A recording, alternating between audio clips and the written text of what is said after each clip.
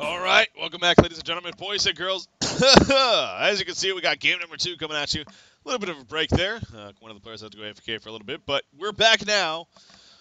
That's what matters. We got game number two again, going to be coming at you here. Of what is uh, what is already a pretty intense series, a crazy game number one we had there. Uh, with, of course, uh, Team NK eventually making the full comeback and taking game number one over Team Kage. You're going to go 1 nothing up in this best of three series. Here we are in the round of 16. So, again, Team Kage.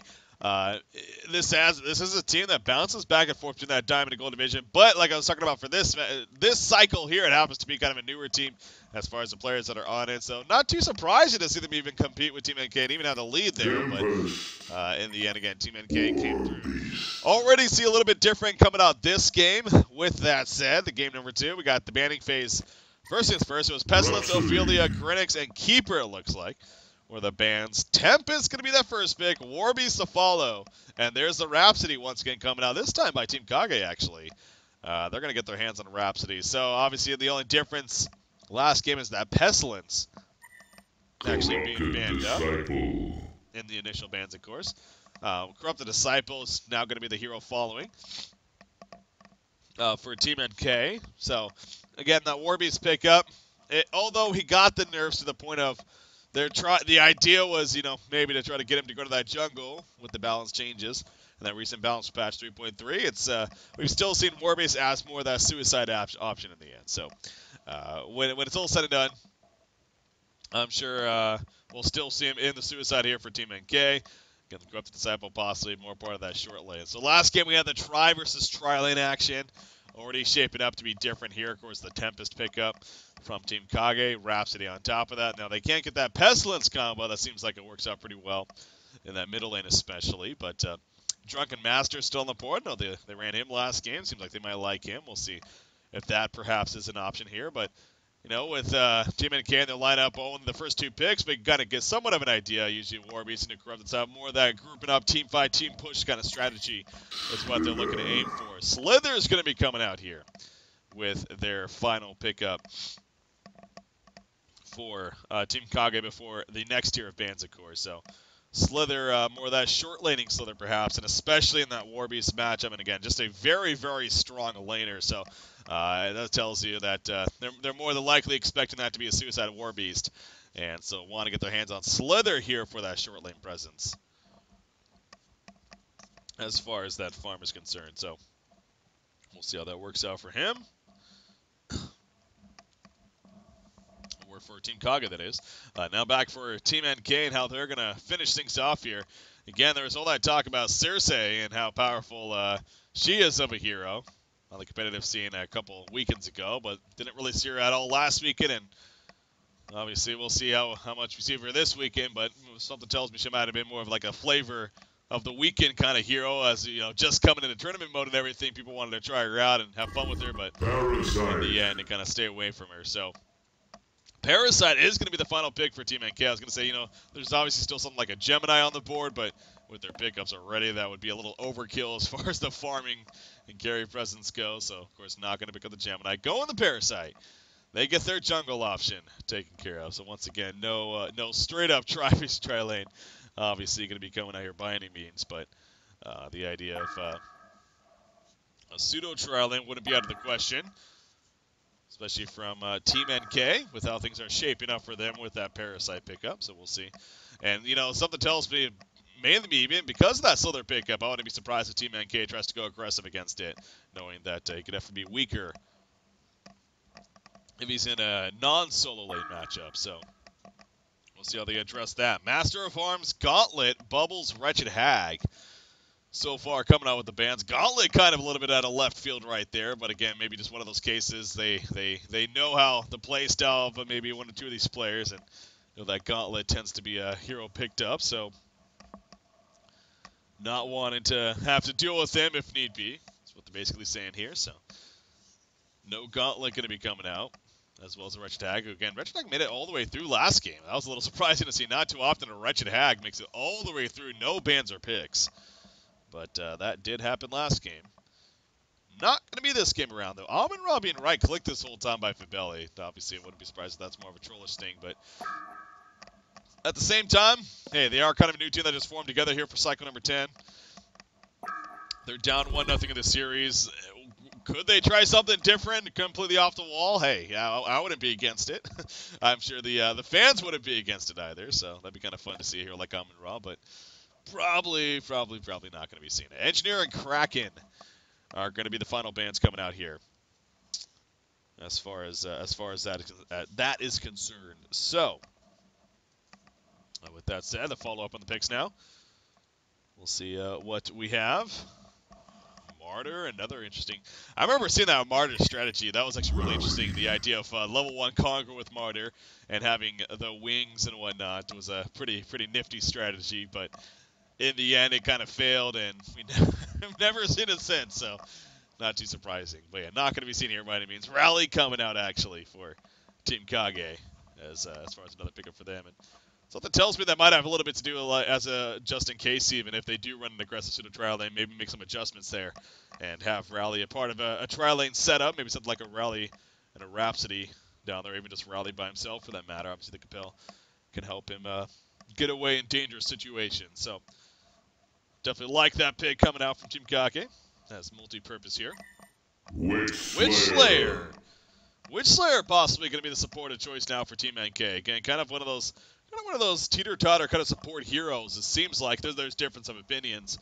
Some will say, you know, not a huge fan of him as a support in the end because you really got to level him up to get that stun locked down to be very effective. But at the same time, others others think it's, it is very effective. You know, you got the miniaturization graveyard combination. Graveyard level one, it is a very weak ability, only one second with a 60 damage. But if you set it up with another stun, more burst damage incoming, then definitely could have potential. So, um, Witch Slayer pickup coming out here, probably going to be more of that support role. Madman to finish things off for Team Kage. They go the Madman pick up there. So another kind of one of those getaway kind of heroes possibly in that suicide lane this time around. Obviously, Grinix being banned out. Scout's on the board, but Scout did receive those nerfs and want to go the Madman route. Want a little bit of carry presence here with the lineup that they have as well. So uh, they got the uh, they got the Madman to take care of that. So definitely like seeing that pick up there. And again, now the final pickup going to be coming out from Team NK. Uh, expected to be more, maybe something even like a Drunken Master wouldn't be out of the question. Um, possibly more of a lane partner for that Witch Slayer, maybe to run that aggressive pseudo trial lane, uh, or just, or just instead send the mid.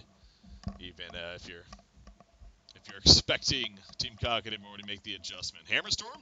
I want to see Hammerstorm. It's been a while since we've seen Hammerstorm. It's not going to be Hammerstorm, but it is going to be Moraxus. Okay, I can live with that, especially in the hands of Les QQ. Now, it's kind of funny we see it here because Les QQ was known for playing an amazing Moraxus back in the day. Uh, when he was when he was very uh, much more active even on the competitive scene. Against season two, we really haven't seen much. I don't even know if we've seen any of Les QQ in season two. Now that I think about it, but know, back in season one and earlier on in the competitive scene, he's had his history, and Moraxus was one of his more famous heroes. So I am excited to see that now. As far as that final pick goes, and again, Moraxus, it, it seems like he's been he's been addressed recently. Um, as far as uh, as far as even being banned in some cases and been picked up a couple times here and there. So again, another one of these heroes. It's it's kind of interesting. You know, you had the patch and just like Rhapsody, I mean, Moraxus didn't get any changes with that uh, the 3.3 fortified arsenal patch, but he got some attention because of changes that happened to other heroes. So uh, picked up here by Team NK, and again, like seeing that. We'll see what uh, Moraxus is able to pull off this game around when it comes it. But like I was saying, no, good synergy there with him and the Witch Slayer. Even with the one second stun at level one, can set up uh, Quake coming out from Moraxus. Good follow up there with the axes to slow him down. So we'll see. We'll see what uh, what what it comes down to as far as the lane setup goes. Now, with that said, Witch Slayer is currently headed towards the top lane, as far as where he is uh, maybe setting up, maybe more of a kind of getting some information as to what uh, Team Kage is going to do. But look at Team Kage; they're getting interesting. Uh oh, Witch Slayer is going to be in trouble. Tanka Fed, he's been completely collapsed on. And there's no chance for him to survive that. Fabelli actually picking up credit for the Bloodlust kill. Embry didn't even get an assist right there. That's a little bit unfortunate, but everyone else does. And the obvious, uh, very good start there coming out for Team Kage. So, oh, that's that's just rude. Uh, but uh, Witch there again after that death, where will he? He is going to be heading to the middle lane, it looks like. So he knew it. He even knew it was coming and wasn't able to stop it.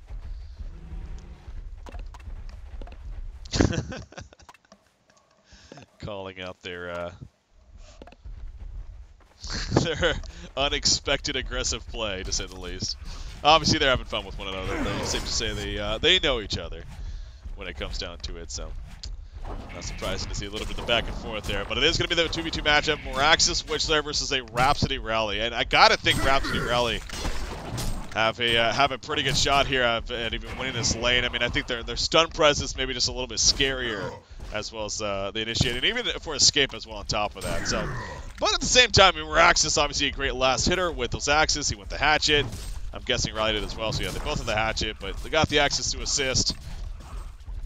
So not to say that it's going to be a obviously one lane by any means by Rally Rhapsody, but maybe a slight edge for them. But uh, definitely could be winnable as well for Moraxus and Witchslayer. So we'll see how that breaks down. Speaking of that, you see right there, Graveyard's an attempt. Going to just miss. Rhapsody was ready for that attempt. As a result, able to avoid it. So Slither is going to be at the bottom lane here. Again, as expected in that short lane matchup, that's why they picked up this hero, and why a lot, a lot of teams do, of course.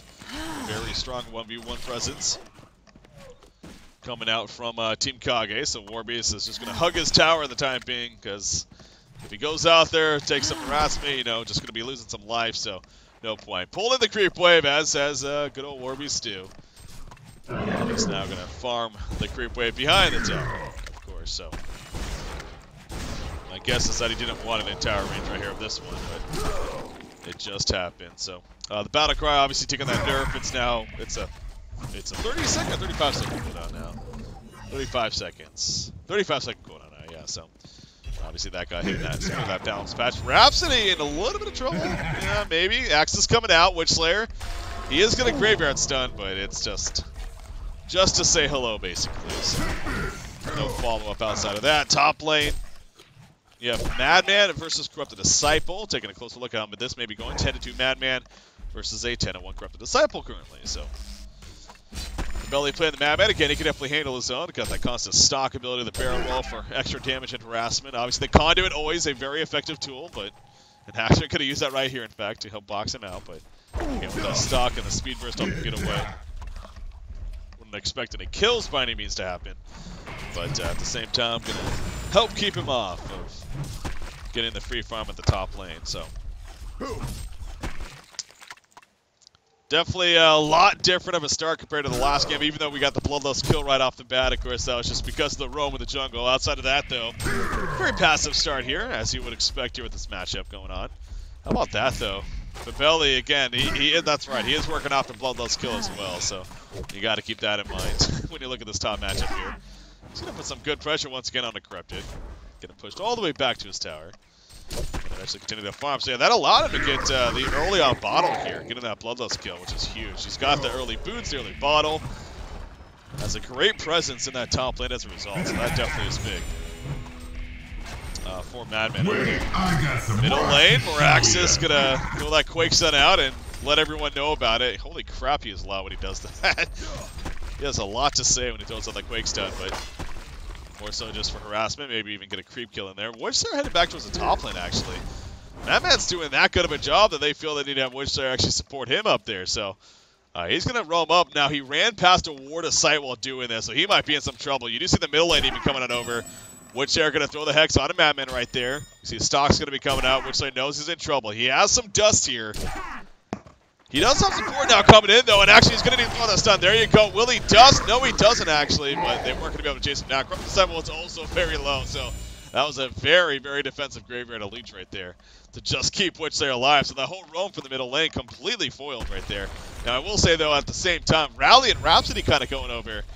They uh, they kind of got occupied. So Moraxus was just kind of freely farming the middle lane in the meantime, so he didn't really have anything against what happened there. But it's all said and done, but we do see they are going to initiate. Staccato stun's coming out, a little harassment. No kills by any means, that's good. Gonna box him out as best they can. He does have a regen bottle though.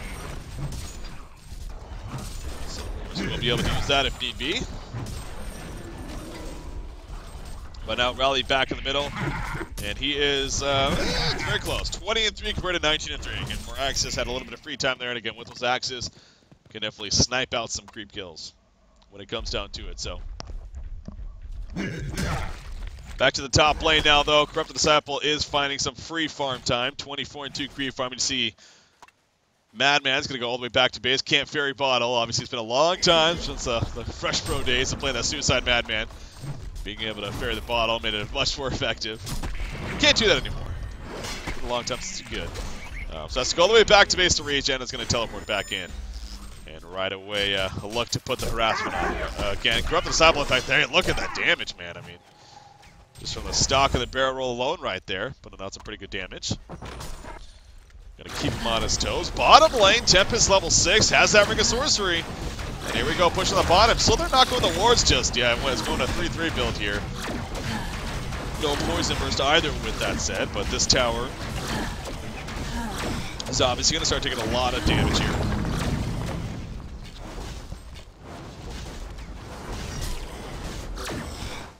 Uh, once again, guys, I know that the uh, the mic is a little bit different than it usually is. I do apologize for that if it's if, it is, if that is uh, unbearable for you. I assume it's not, but um, I do know that it is different. Again, got a had a different setup going here, so uh, I, I might be able to get that fixed by tomorrow, if not going into the next weekend here. Uh, back to the other setup that I had with the as far as the mic is concerned, but for now, uh, gonna have to bear with it, unfortunately. Uh, but uh, anyway, so back to the bottom lane. Obviously, they do push on the tower. You do see the middle lane as they go away from it, of course. Kills happening.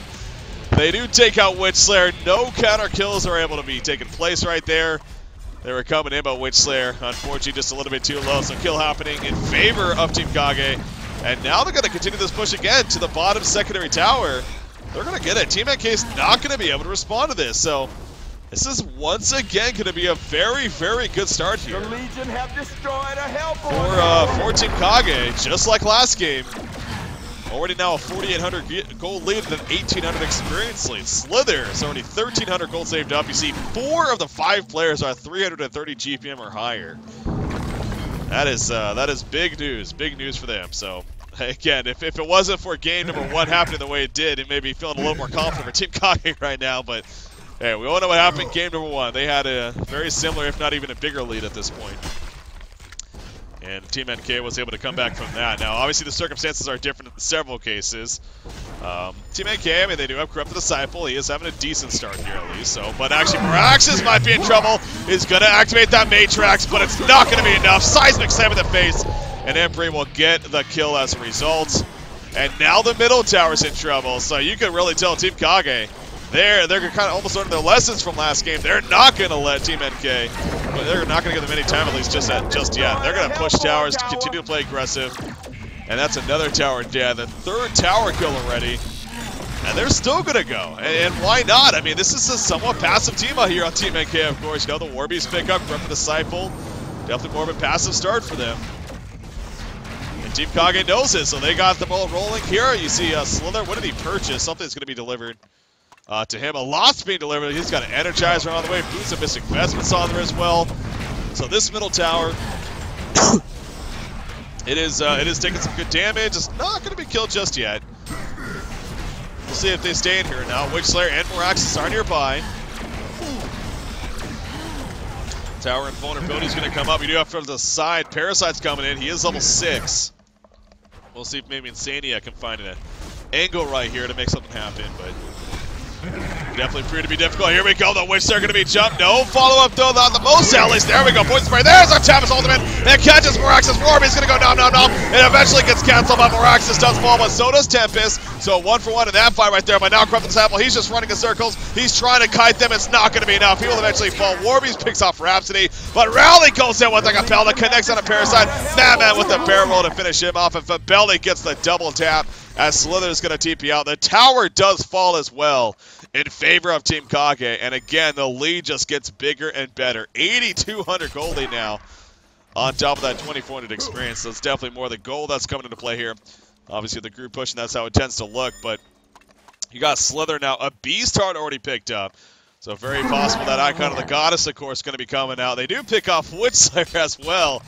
Not sure how that came into play, but Rally and Madman roaming around, and Well, they catch him kind of hanging out as he was pushing up a little bit by himself. So four tower kills already for Team Kage. And, and again, if they're going to keep this up, which they probably are, they're going to head top lane now, and they're just going to keep the damn push going. We got an Astrolabe pickup on Tempest. Obviously, having Rhapsody helps with all this. That Disco Inferno buff is just huge for pushing towers. A B-Star picked up on Rally. 1,200 gold saved up on Madman. He's actually going to go bottom lane in the meantime. But the rest of his team is at the top side. And they're at least going to kill the, uh, they're at least going to kill this top tower, of the initial tower. We'll see about going further on, but The Legion have Morbius is able to finish off his Abyssal tower. Skull here, so at least he has that going for him. Uh, Corrupted Disciple, obviously just steam boots from the teacher and not much else. I need to be careful here. Both teams have a Ward aside placed right next to each other. We'll see if uh, that comes into play right here. Moraxus kind of creeping up, but he doesn't have a key or anything like that, so no easy jump going to be happening uh, by any means from him. So Gonna play very passive here. Warby's just gonna farm out the top lane, maybe trying to bait something from Team Kage. Moraxus going in actually. Compel hits. The sideback slap. Wisher gets touched on right there. He's gonna be picked off. And now we see Matrax gonna be activated by Moraxus. They do pick off Rally. Matrax will keep him alive. Warby's in ulti form once again. Looking to put the pain up, but here comes Madman. Madman barrel through. He has the stock. He dodges the Quake Stun. He takes out Moraxus. Very good play by Fitbelly right there. He knew the Quake Stun was coming. He purposely dodged it initially. Corrupted Disciple is also going to be picked off as Warby says sayonara as well as Parasite. So in the end, especially with Madman coming in, Team Kage makes it work in that fight. And Rally's going to be up in three seconds. Wouldn't be surprised to see him teleport to the top lane and possibly look to push in the secondary tower. Only coming up to 12 minutes in here, but this is uh, this uh, this idea of a push strategy is really coming to play. Still no wards on Slither with that said. So not really helping in the push in that sense, but they don't really need it, obviously. So, you know, why go for it if you don't need it? I will say maybe for a Fish, at least a one point might be decent, but maxing out the toxicity poison spray first. They catch Warbeast, by the way. Rally and Madman going together. And that is a huge pick. This tower is going to probably fall right here. We do have Matt, or we do have Moraxus nearby, but again, no Portakey or anything. It's just him right now. You have Tempest pushing. Elementals are up. This is going to be the final outer tower destroyed. As again, we're only 12 and a half minutes into this game right now, so it is just uh, it, it is just full throttle, go go go here for Team Kage. So it's safe to say they're doing uh, they're doing things a little bit different than they did last game. Last game they got the early start, they didn't turn on the throttle. Team NK made them pay. This game they got the early start, they really pushed that throttle in, and now they have a 14,000 gold lead, 7,000 experience lead as we approach 13 minutes into this game. So it is just looking great all across the board. I mean, you try to find positive signs here right now on Team NK, and the best you got is a Corrupted Disciple farming 280 gold per minute. Steam Boots, Ring of the Teacher, and not much else, unfortunately. So you see Warbeast, he's trying to get any kind of farm he can get. Again, he already has an Abyssal Skull, but just sitting on red boots other than that. He's actually going to farm some elementals right here. So misplay by Tempest, but not the biggest deal in the world. Middle lane, Witchsire's going to get caught right here. He puts the Miniaturization, actually, but not enough. The Compel follow-up to get the Kelka. You see Conduit coming out, but he just stalks away to remove that debuff. Mammoth, by the way, he has a Sustainer picked up, so interesting, but it's been a long time since we've seen a Nullstone. But very possibly a Nullstone pickup to come here from Madman. That's always, an, you know, it is a very great mana regen item. Obviously, it's great for, you know, it's a great farming tool for a like Madman. At this point, you could argue that, you know, Life Brand is more that replacement in the end, but at the same time, I mean, a full Dombery definitely wouldn't be a bad idea for a Madman, but is that something he's ideally wants to go for? So he's going to be over for the Nullstone. And there is good and bad, obviously. You got your good against something like a Parasite. They have a lot of removal to get rid of it, though. Something like the Power Train, an easy leech. Um, it will help against a con. I mean, so it, I could definitely see it being very effective here for uh, for Madman to say the least. As far as uh, as far as a Nullstone pickup, it's been a long time since we've seen it. it really has been. After for so long in the competitive scene, actually was kind of the meta, but um, yeah, again, it looks like we could be seeing it here on Fabelli. But hell, at this rate, too, I mean, who knows how much longer Team NK may try to stay in this? Because again, maybe because the last game, if anything, that's going to keep them in this game for a little bit longer. But this is definitely even a step up compared to last game, as far as where they were at. But hey, they came back last game, so Uh, why not this game, right? But something tells me they are going to be giving up. Axeron's dropping all his items, and there goes the concede vote. well, that's a sign of concede if I've ever seen one. I love it. He just drops all his items. He's like, I'm done. I'm done. I'm out. Peace. Well, there you go. Team Kage. They uh, they make a statement there in game number two. They take game number two.